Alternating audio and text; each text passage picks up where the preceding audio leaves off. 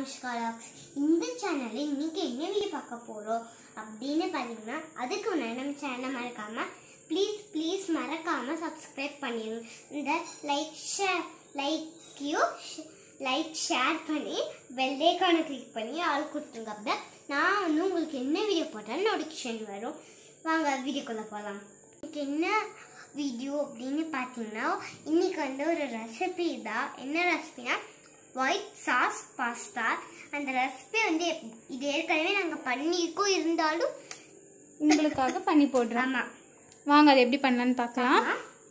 இப்போ பார்த்தீங்கன்னா ஒரு பாத்திரம் எடுத்து அதில் வந்து ஒரு மூணு மூணு செம்பு தண்ணி நாங்கள் ஊற்றிருக்கோம் உங்களுக்கு தேவையான அளவு நீங்கள் பார்த்துக்கோங்க. இது வந்து கொஞ்சம் தண்ணி கொதிச்சக்கப்புறம் நம்ம பாஸ்தாவை உள்ளே சேர்த்து ஃபஸ்ட்டு நம்ம பாஸ்தாவை வேக வச்சுக்கலாம். அதுக்கப்புறம் அப்படியே என்ன என்ன பண்ணுறதுன்னு அப்படியே பார்க்கலாம். தண்ணி கொதிக்கட்டும் கொஞ்சம். இப்போ பார்த்தீங்கன்னா தண்ணி வந்து ஓரளவு காஞ்சிருச்சு. இப்போ நம்ம வந்து பாஸ்தா போட்டுக்கலாம். நாங்கள் வந்து இவ்வளோ பாஸ்தா எடுத்திருக்கோம். ஒரு ரெண்டு டம்ளர் பாஸ்தா நாங்கள் வந்து எடுத்திருக்கோம். ஏன்னா அந்த பேக்கெட்டில் நிறையா இருந்துச்சு. நான் பட் நாங்கள் இவ்வளோ தான் எடுத்திருக்கோம். நீங்கள் எந்த வித வெரைட்டி பாஸ்தானாலும் ஓகே நீங்கள் வந்து அந்த பாஸ்தா பேக் பின்னாலே வந்து டைமிங்ஸ் கொடுத்துருப்பாங்க. நீங்கள் அதைப்படி நீங்கள் வந்து வேக வச்சுக்கோங்க. இப்போ இதை சேர்த்துட்டு வேகறதுக்கு தேவையான அளவு உப்பு வந்து சேர்த்துக்கலாம். அப்புறம் ஒரு ஸ்பூன் எண்ணெய். இதை விட்டுட்டு இது வந்து அப்படியே வேகட்டும். கலந்து விட்டுருங்க. கலந்து விட்டதுக்கப்புறம் இது கொஞ்சம் வெந்ததுக்கப்புறம் நம்ம வந்து பார்க்கலாம். பார்த்தீங்கன்னா வெந்திருக்கா இல்லையான்னு எப்படி கண்டுபிடிக்கிறது அப்படின்னா இப்படி ஒரு எடுத்து வச்சு இப்படி கட் பண்ணி பார்த்தீங்கன்னா வெந்திருக்கா இல்லையா அப்படின்னு தெரியும். இப்போ வந்து இது ஓரளவுக்கு நல்லாவே வெந்துருச்சு. இப்போ நம்ம ஆஃப் பண்ணிடலாம். பிடிக்கிறது வந்து நான் இல்லை எங்கள் அம்மா தான் வந்து பிடிச்சிட்டு இருக்காங்க. இப்போ வந்து இதை ஆஃப் பண்ணிடலாம். ஆஃப் பண்ணிட்டு நம்ம ஸ்ட்ரெயின் பண்ணிக்கலாம். இப்போ பார்த்தீங்கன்னா இது வந்து வடிகட்டியாச்சு. இப்போ இது வந்து ட்ரை ஆகாமல் இருக்கிறதுக்காக நம்ம ஒரு ஸ்பூன் ஆயில் விட்டுக்கலாம். நம்ம வந்து வேக வைக்கும் போதே ஆயில் ஊற்றிருக்கோம் அதனால பார்த்துட்டு ஒரு அதை விட கொஞ்சம் கம்மியாக ஊற்றினா போதும். இப்போ ஊற்றிட்டு அதை வந்து நம்ம நல்லா மிக்ஸ் பண்ணிடலாம். இப்போ பார்த்தீங்கன்னா நான் தூள் போட்டு நிறைய நின்று நான் இப்போ வந்து பேசிட்டு இருக்கேன். ஹாய் ஹாய் ஓகே இது இதை வந்து இப்படியே ஆறட்டும். நம்ம அதுக்குள்ளார நம்ம அடுத்து என்னென்ன பண்ணலான்னு காமிக்கிறோம் இப்போ பார்த்தீங்கன்னா ஒரு பேன் எடுத்துகிட்டு அதில் வந்து கொஞ்சமாக ஆயில் ஊற்றிக்கலாம் ஒரு ஒரு ஸ்பூன் ஆயில் ஊற்றி ஆயில் வந்து கொஞ்சம் காயட்டும்.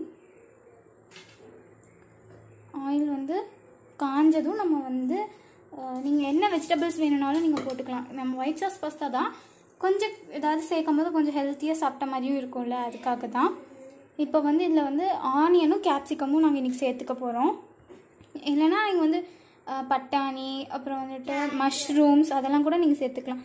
இப்போ நாங்கள் இந்த ரெண்டு வெஜிடபிள்ஸையும் நாங்கள் சேர்த்துக்க போகிறோம்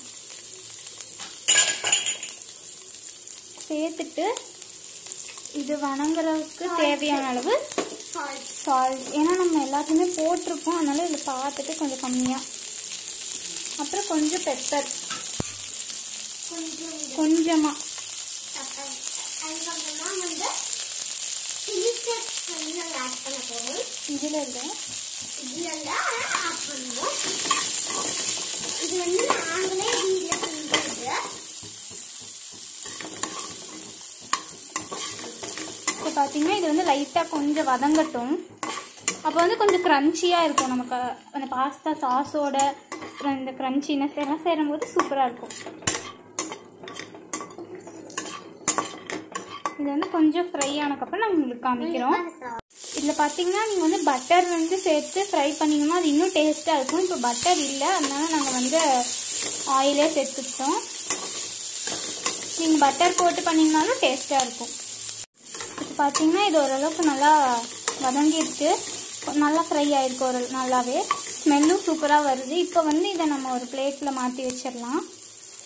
இப்போ பார்த்தீங்கன்னா மறுபடியும் அதே கடாய் எடுத்திருக்கோம். அதில் வந்துட்டு நீங்கள் பட்டர் சேர்த்துக்கிறதா இருந்தால் ஒரு பீஸ் பட்டர் நீங்கள் வந்து சேர்த்துக்கோங்க. இப்போ வந்து நான் ஒரு ஒரு மூணு ஸ்பூன் ஆயில் விட்டுருக்கேன். இப்போ இதில் வந்து ஒரு ரெண்டு மூணு பல் பூண்டை வந்து சின்ன சின்னதாக நறுக்கி வச்சுருக்கோம். அதையும் நம்ம வந்து சேர்த்துக்கலாம். சேர்த்து நல்லா வதக்கிக்கலாம். இந்த பூண்டெல்லாம் வந்து நல்லா கோல்டன் ப்ரௌன் ஆகட்டும்.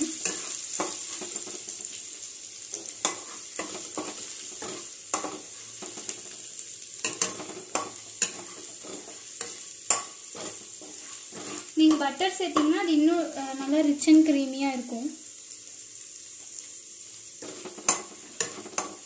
இப்போ பார்த்தீங்கன்னா ஒரு ரெண்டு டேபிள் ஸ்பூன் வந்து மைதா இருக்குது இந்த மைதாவை வந்து நம்ம சேர்த்துக்கலாம். சேர்த்து நீங்கள் நல்லா கலக்கி விட்டுட்டே இருங்க. ஒரு விஸ்க் வச்சு கலக்கினோம்னா உங்களுக்கு ஈஸியாக இருக்கும். அப்படி இல்லை ஏதோ ஒரு கரண்டி வச்சு நல்லா கலக்கிக்கோங்க. இப்போ பார்த்தீங்கன்னா ஒரு கப் பால் இருக்குது கொஞ்சம் கொஞ்சமாக ஊற்றி நம்ம கலக்கிக்கலாம். ஏன்னா இந்த கத்தியெல்லாம் நம்ம வந்து கரைக்கணும்.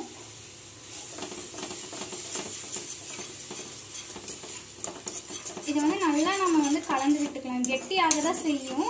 மைதா போட்டிருக்கோம் இல்லையா அதனால். இது வந்து நல்லா கரையட்டும் அடுப்பு வந்து நீங்கள் இதை வச்சுக்கோங்க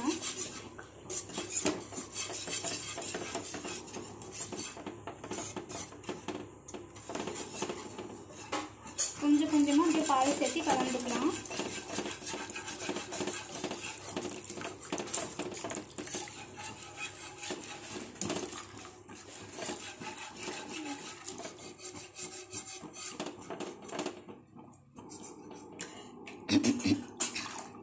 அப்படியே சேர்த்து கலக்கலாம்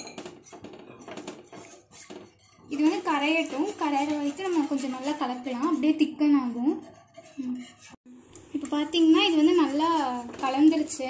ம மைதெல்லாம் வந்து நல்லா கரைஞ்சி போயிடுச்சு. இப்போ வந்து இது கட்டி கட்டியாக இருக்குன்னு நினைக்காதீங்க. அது பூண்டு தான். அது நல்லா ஃப்ளேவர் கொடுக்கும் இந்த ரெசிபிக்கு இப்போ வந்து ஒரு ரெண்டு ரெஸ் ரெண்டு சேர்க்க போகிறோம் அது வந்து என்னென்னு வம்சிகா வந்து சொல்லுவாங்க இது வந்து சில்லி ஃப்ளேக்ஸ் இது வீட்லயே நாங்க வந்து மிளகா அரைச்சு பண்ணது. அதுக்கப்புறம் கூட கொஞ்சம் பெப்பர் இருக்கு.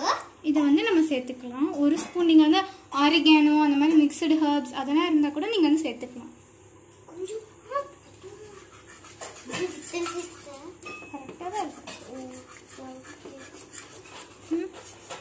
இதை வந்து நல்லா மிக்ஸ் பண்ணிக்கலாம் பார்த்தீங்கன்னா இது வந்து நல்லா கொதிச்சிட்டு இருக்கு இப்போ வந்து நம்ம வணக்கி வச்சுருக்க இந்த வெஜிடபிள்ஸ் வந்து சேர்த்துக்கலாம்.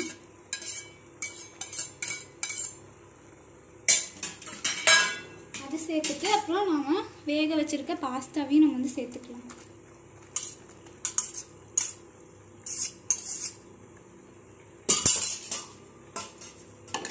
இதெல்லாம் சேர்த்து நம்ம நல்லா மிக்ஸ் பண்ணி விடலாம். இப்போ வந்து நம்ம தேவையான அளவு சால்ட் வந்து சேர்த்துக்கலாம். இந்த உப்பு போடுறாங்க.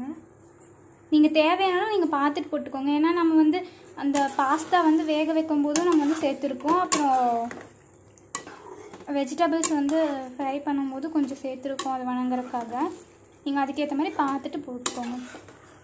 இப்போ தான் நம்மளோட டிஷ்ஷோட ஹீரோ சீஸ் வந்து சேர்க்க போகிறோம் சேர்த்துடலாமா?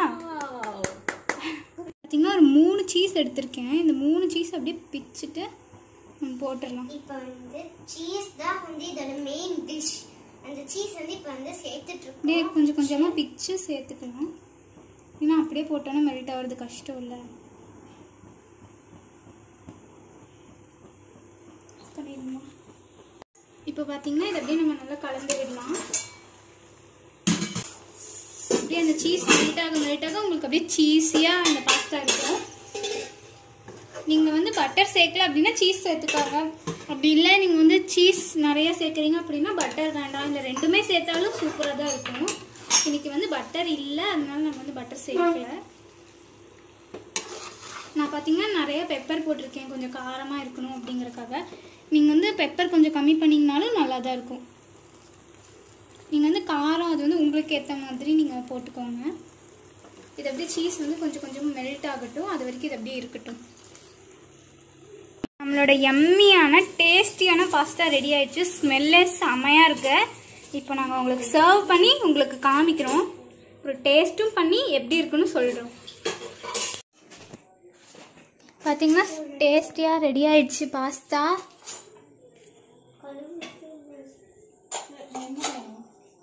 ஸ்பூன் எடுங்கம்மா டேஸ்ட் பண்ணிடலாம். டேஸ்ட் பண்ணிடுவோமா? சுடலங்கா